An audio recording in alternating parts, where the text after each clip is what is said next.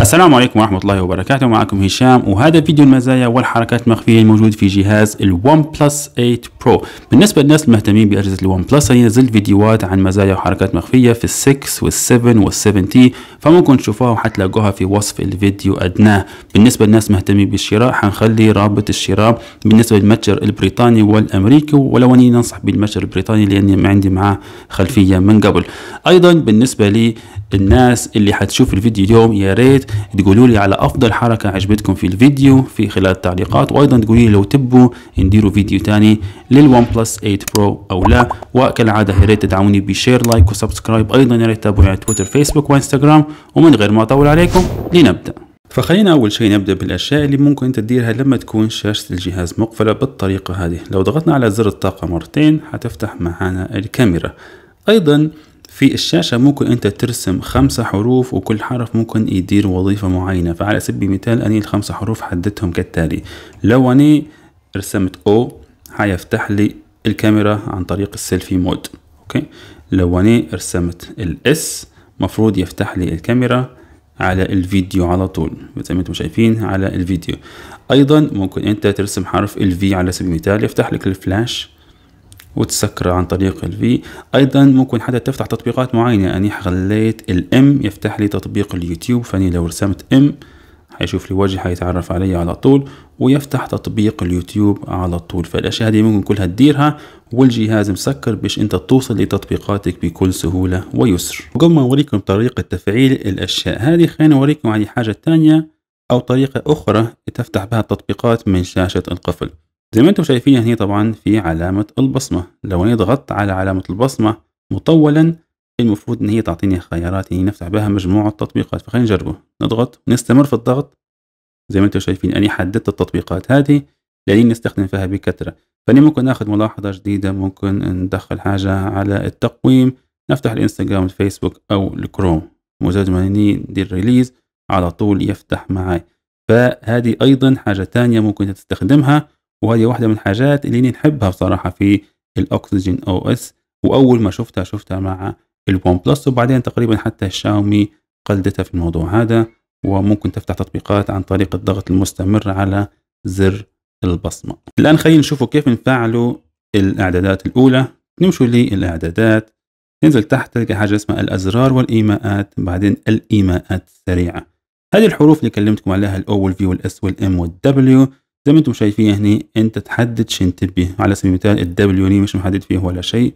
لو ضغطت عليه هنشوف الخيارات. إما فتح الكاميرا فتح الكاميرا. الاماميه تسجيل فيديو أو إن هي تفتح واحد من التطبيقات اللي موجودة عندنا. فلو على سبيل المثال خليناها LinkedIn. فمجرد ما ندير W هنا المفروض يفتح معاي اللينكدين. في حاجة حلوة فعلوها. لقطة شاشة من ثلاث أصابع. فهي لو سحبت بالطريقة هذه حياخذ لقطة للشاشة. الآن بالنسبة للضغط المطول على زر البصمة فترجع للخلف. تنزل تحت لحاجة اسمها الأدوات المساعدة وبعدين التشغيل السريع. فهني زي ما شايفين هو ممكن تتوقف لو ما تحبهاش الميزة هذه أو ممكن تفعلها بعدين تمشي لإعدادات الاختصارات. زي ما شفتوا هني حاط ملاحظة جديدة حتى جديد. انستغرام فيسبوك وكروم ممكن أنت تضيف أي اختصار جديد على سبيل المثال نضيفه مثلا نشوفوا أي حاجة هنا يعني طبعا هذه الأدوات اللي ممكن أنت تستخدمها أو ممكن أنت تفتح تطبيقات لو تبي. فهذا الشيء يرجع لك فممكن نفتح على سبيل المثال ال PayPal فلو ضغطنا من جديد هنلقى إن ال PayPal انضاف في آخر خيار.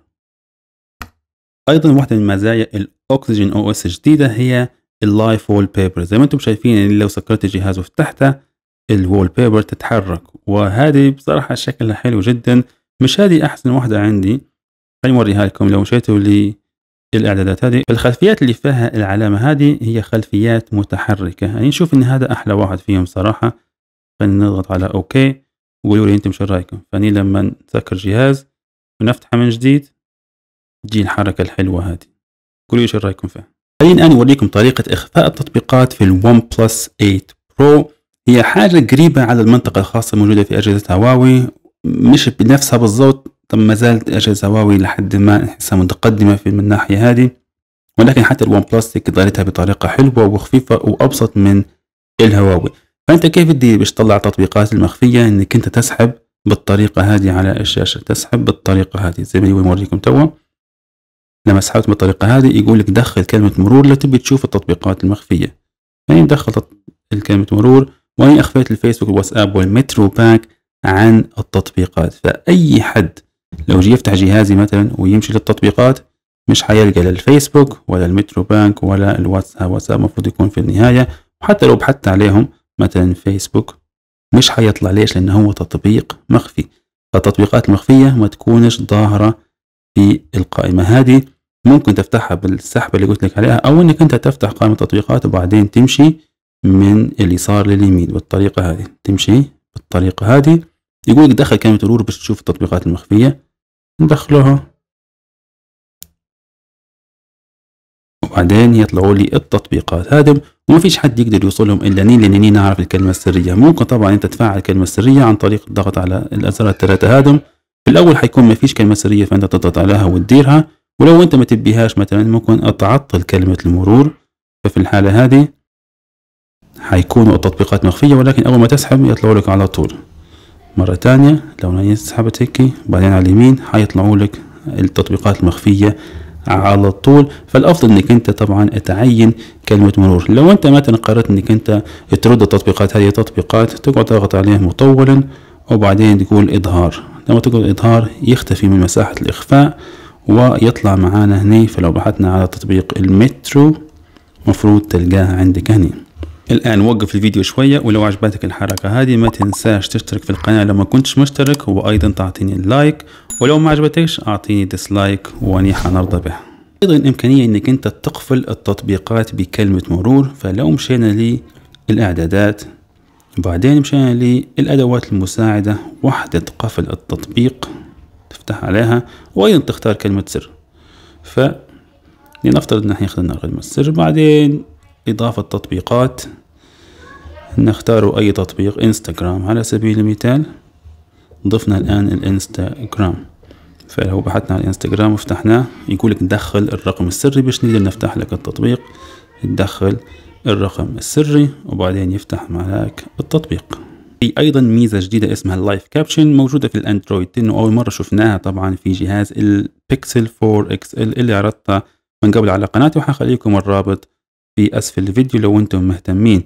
ال live caption ميزة تعرض لك subtitles لأي فيديو معروض على الشاشة. فعلى سبيل المثال لو مشيت لليوتيوب فتحت فيديو باللغة الإنجليزية يعني طبعا مثلا نفترض لغتي الإنجليزية يعني مش قوية ومحتاج subtitles تضغط مرة واحدة على رفع أو خفض الصوت وهني تلاقي لك ال option بتاع ال live caption على طول يبدأ الجهاز يبدأ يطلع لي في ال subtitles الكلام اللي يقول فيه الشخص هذا حيطلع لي. وممكن طبعا نحرك ال subtitles وين ما نبي. ولو اني مثلا ما نبيش نضغط مرة ثانية على زر رفع وخفض الصوت ونلغي.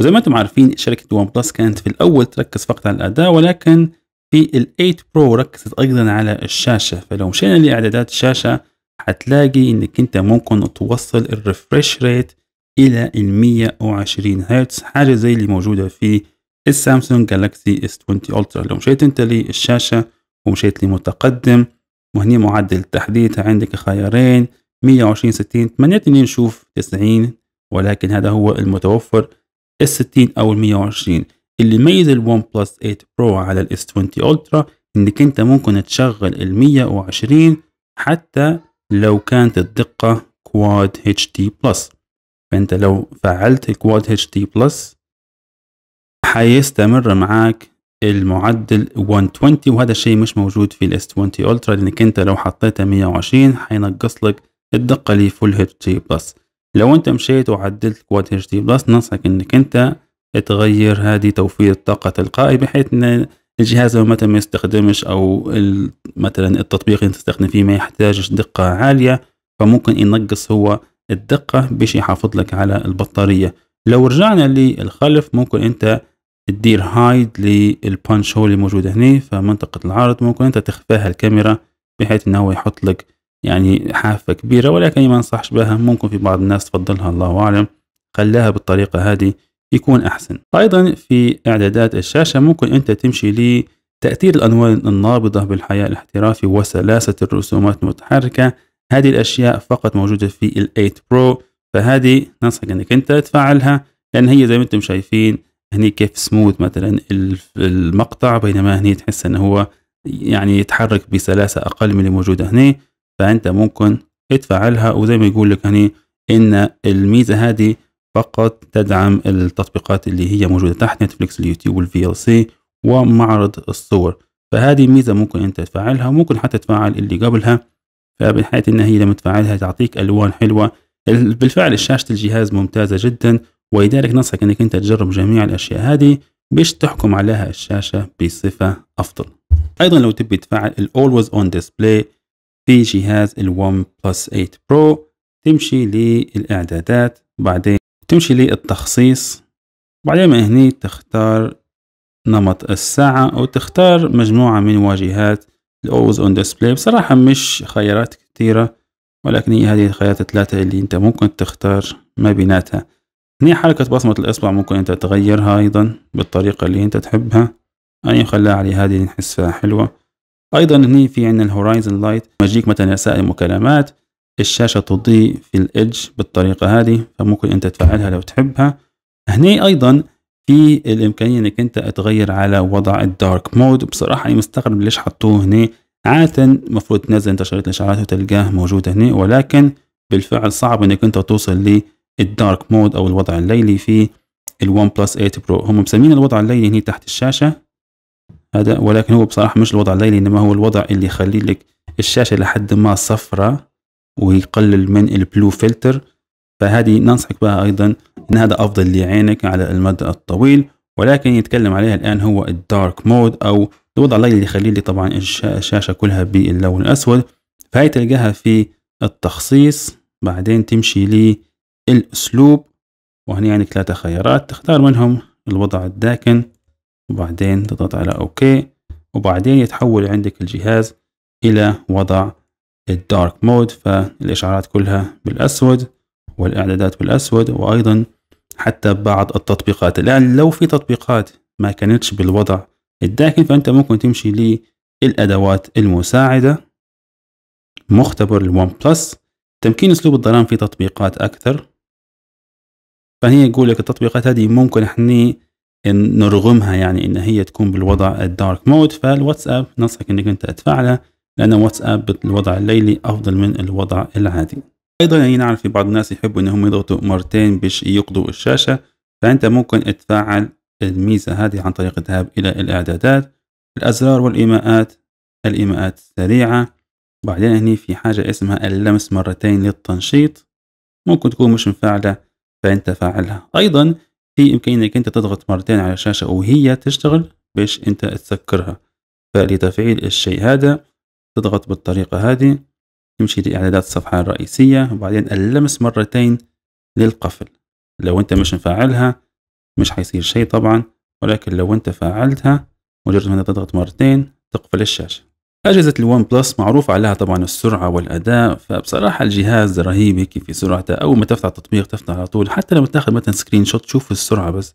على طول هيك حسيت إنه هو أسرع بصراحة من الأجهزة الثانية في screenshot فعموما الجهاز سريع. لو أنت تبيه يكون أسرع ممكن تنقص ال animation الموجودة فيه. فتمشي للاعدادات تنزل تحت النظام بعدين سهولة الاستخدام وبعدين تنزل تحت شوية إزالة الصور المتحركة.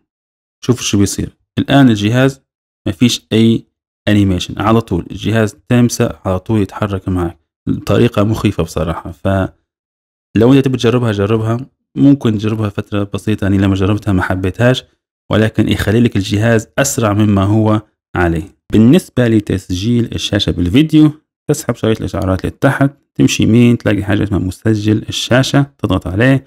ما تسجل ممكن أنت تغير بعض الإعدادات زي معدل البت عدد الإطارات الدقة مصدر الصوت وما إلى ذلك. ولما أنت تكون هابي والأشياء هذه إنك تضغط على زر التسجيل ويبدأ يسجل معاك وبعدين توقف التسجيل. وممكن طبعا تدير حذف لأنني بصراحة مش مهتم به حاليا. أيضا في ميزة هي screencast إنك أنت تبعد شاشة جهازك إلى شاشة التلفزيون. من نفس المكان تسحب تمشي يمين حتلقاها موجودة عندك بث الشاشة. لو ما لقيتهاش تضغط على ال edit. في العاده حتلقاها موجودة تحت هنا مجرد إنك أنت تاخذها وترفعها فوق وحتطلع معك. الآن لو أنت ضغطت على بث الشاشة حيدور على شاشات التلفزيون اللي في البيت وتقدر تعرض شاشتك على التلفزيون. لما نزلت فيديو ال unboxing لجهاز الون بلس 8 برو في بعض الناس سألوني على كاميرا ال color filter وقالوا شنو وظيفتها. فخليني اوريكم وظيفتها اللي ما أعتقدش ان كنتم حتستعملوها في حياتكم حتى لو شريتوا الجهاز هذا.